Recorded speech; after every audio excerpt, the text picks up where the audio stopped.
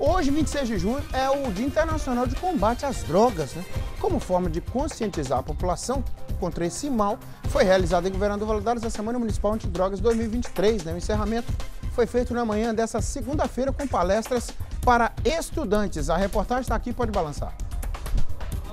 Na Escola Municipal Chico Mendes, em Governador Valadares, a segunda-feira começou com palestra para os alunos do ensino fundamental. O assunto é o encerramento da Semana de Conscientização Antidrogas em 2023. E o lema, muito claro, compartilhar a ideia de que a prevenção é o melhor caminho para não se envolver com produtos ilícitos no futuro.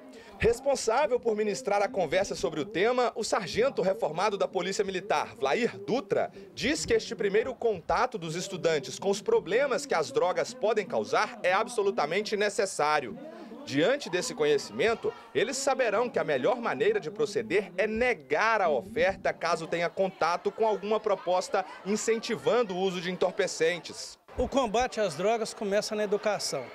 Uma vez que o aluno é doutrinado e aprende sobre o combate às drogas, com certeza ele vai ter uma maior resistência para dizer não ao caminho das drogas. A Nayeli participou da palestra com bastante atenção e aprendeu lições valiosas. Uma delas, segundo a estudante, é que definitivamente não vale a pena se expor ao risco dos vícios em drogas.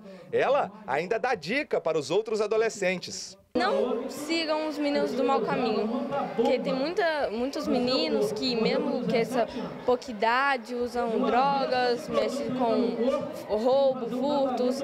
Então, só não seguir maus caminhos. A semana de sensibilização dos atores sociais, no intuito de se comprometerem com as ações de prevenção, teve início no dia 19 deste mês e termina hoje, 26 de junho, Dia Internacional de Combate às Drogas. Como explica o presidente do Comad, Conselho Municipal sobre Drogas, durante os sete dias, além das escolas, foram desenvolvidos trabalhos nas famílias, envolvendo esporte, cultura, assistência social e outras atividades. Preferimos começar pelas escolas, né, trabalhar essa prevenção nas escolas, junto aos professores, junto a, aos diretores das escolas, junto ao município, à educação, para que as casas de recuperação, né, que já faz parte, já é, representam no conselho, é, não tenha trabalho futuros com, com os mesmos, com essas crianças ou adolescentes, então com os jovens, né? Então a gente trabalhamos já de imediato. Isso é muito gratificante para a gente. O objetivo nosso é dizer que a família tem um caminho, a família tem solução. As drogas têm solução de combate, onde nós todos unidos, juntamente com as forças de segurança, podemos combater essas drogas através do esclarecimento de palestras e unir as forças para combater esse mal que está no mundo todo. Parabéns aos envolvidos, né? um beijo no coração do Vlair aí, a gente, companheiro de longa data, já fizemos, fizemos trabalho social Choni, né? Esse é férias, esse é engajado.